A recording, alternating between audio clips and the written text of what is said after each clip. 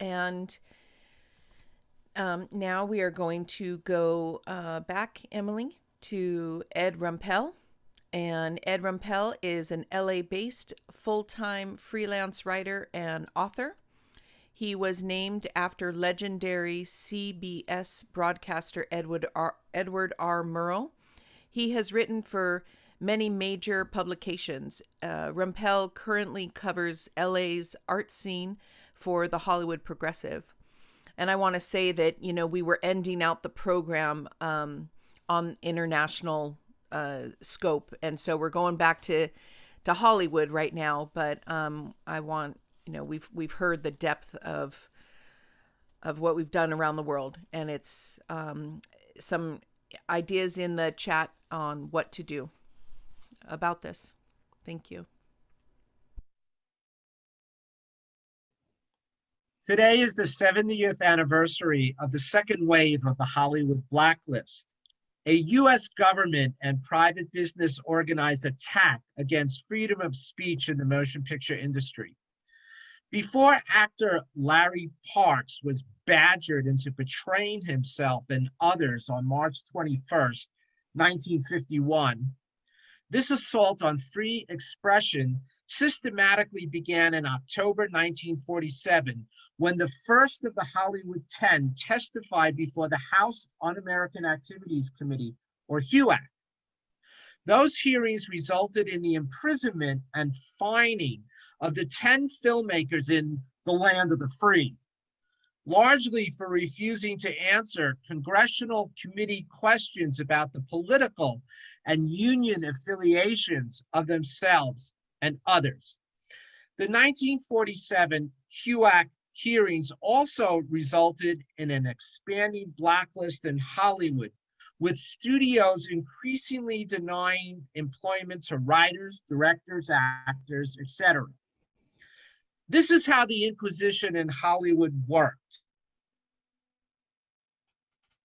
Talent subpoenaed to testify before Washington witch hunters were asked the $64,000 question.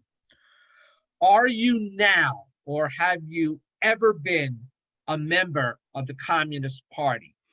They were also bullied to incriminate others as see peers and or supporters of various left-wing causes. It wasn't enough to confess one's own political sins. Penitents also had to denounce other heretics for their political associations and thought crimes. Cooperative, friendly witnesses who informed on themselves and named names of others to a congressional committee the studio chiefs and or certain private entities were generally allowed to crawl back to work in the movie industry. However, unfriendly witnesses who refused to cooperate and rat out others were forbidden from making pictures. This auto da fe wasn't limited to those in the movie colony who joined the Communist Party or CP. Heroic non-communists like actors Marsha Hunt and John Garfield had their employment curtailed because they wouldn't name others to save their own skins. More than 300 La La Land professionals lost jobs due to this motion picture purge. The Hollywood blacklist's consequences extended far beyond the ability of casts and crews to earn a living. This act of blatant censorship also adversely impacted upon American culture. What the US experienced from roughly 1947 to 1960 was a coordinated campaign to subvert and undermine the First Amendment by J. Edgar Hoover's FBI and the House, U.S. House of Representatives, acting in league with studio moguls. In 1950, Senator Joe McCarthy joined the anti-communist crusade and chaired the Senate Permanent Subcommittee on Investigations, focusing on purported reds in the US government and army. But McCarthy did call some prominent artists to testify, including poet Langston Hughes, writer Dashiell Hammett, composer Aaron Copland, Wow. and novelist Howard Fast. After World War II, America emerged as a nuclear armed superpower and tried to impose global hegemony. To do this, Washington had to suppress dissent in the homeland. With HUAC and McCarthyism, the US ruling class brought the Cold War home. To become the world's policeman, US imperialists had to police America too. Hmm. And badgering, tyrannizing celebrities attracted publicity and also warned ordinary people that they better be obedient. Today, right wingers howl against political correctness and wokeness.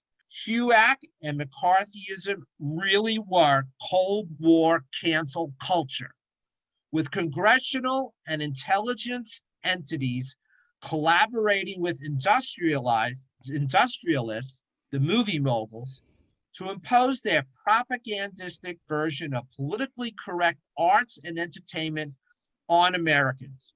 This conservative cancel culture, which censored, stifled, punished, and policed domestic dissent, was an essential part of the Cold War's ideological holy war. The 1950s is widely seen as a dreary era of conformity, which explains why so many reactionaries yearn to return to it. Let's take a look at what the Hollywood blacklist and McCarthyism actually denied to American culture. The witch hunts are popularly portrayed as Reds under the beds anti communist hysteria. But as a film historian who thoroughly researched this period, I have a different viewpoint. There were, in fact, a significant number of communists, plus many fellow travelers and independent leftists in Hollywood from the 30s until the HUAC purges. Injecting progressive content, content, they made the movies better. Let's look at some other films that exemplify the cultural contributions of Communist Party and leftist talents. What beloved movie from Hollywood's golden age most embodies America's democratic values? In 1939's iconic Mr. Smith Goes to Washington, Jimmy Stewart stars and as an idealistic young senator who does battle with congressional corruption. Frank Capra directed this popular classic, which received 10 Academy Award nominations. But when the Grand Inquisitors returned to Tinseltown in 1951, he was subpoenaed to testify. Refusing to name names, Buchman was blacklisted, fined, and found guilty of contempt of Congress. Capitol Hill finally exacted its revenge on the screenwriter who'd critique, critiqued the Senate in Mr. Smith. Mm. In 1936, Charlie Chaplin stood up for factory workers, strikers, and the unemployed during the Depression in modern times. In 1940, as Nazis conquered Europe, Chaplin's satire, The Great Dictator, bravely mocked Hitler and defended the Jews. What was Chaplin's reward? When Charlie sailed to London in 1952, British citizens' reentry permit to America was revoked. Charlie, never a CPer, spent the rest of his life in exile. Despite their 13 year inquisition, Tinseltown's Turkey Martyrs were turkeys who never formally charged a single US born artist with espionage and or treason.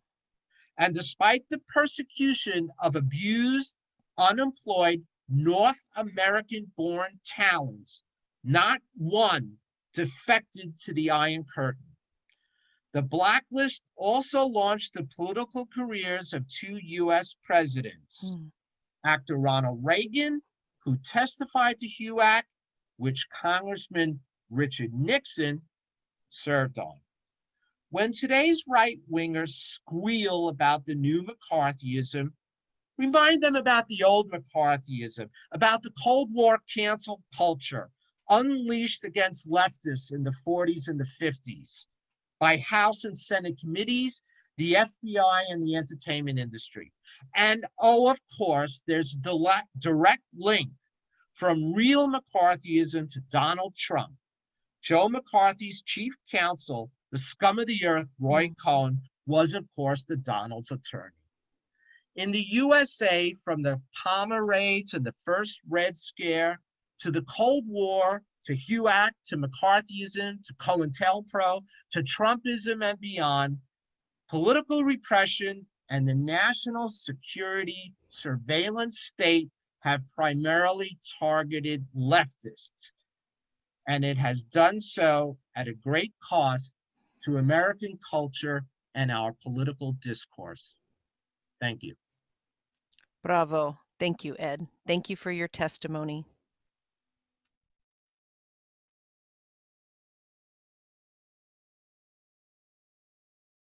Thank you, um, Ed. And again, he was he's our first project. Uh, we're talking about putting on a Cold War um, film festival. Definitely.